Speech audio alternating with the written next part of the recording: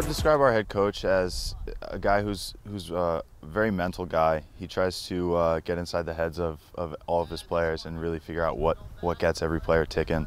And uh, he's a young guy who, who we can all relate to, so you know it makes it a little bit easier for us to, to want to play for him.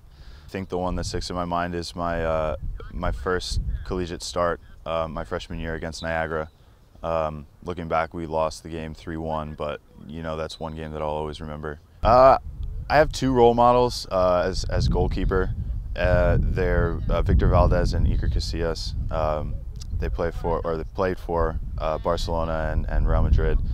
Uh, I try to role model my goalkeeping after them as much as I can. Casillas being very good with his hands and, and Valdés good with his feet.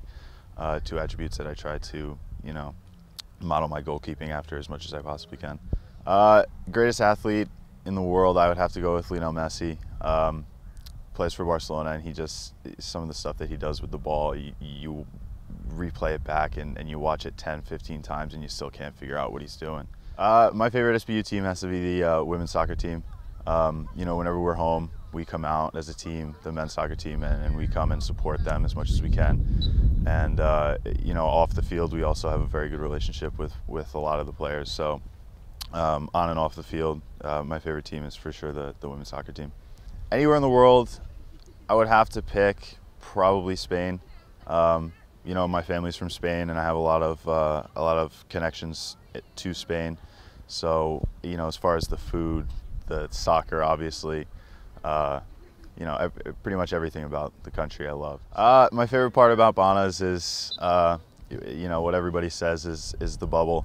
Um, but further than that, I think the, the athletic community uh, really bonds together and uh, you know every team kind of has a, a, connection with each other. The biggest influence uh, as far as soccer is concerned is for sure my dad.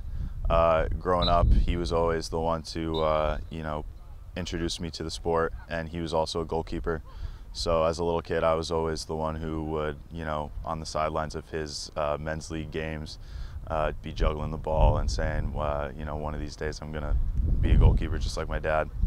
And I don't know if he wants to admit it, but I'd like to think that I'm a little bit better than him now. So.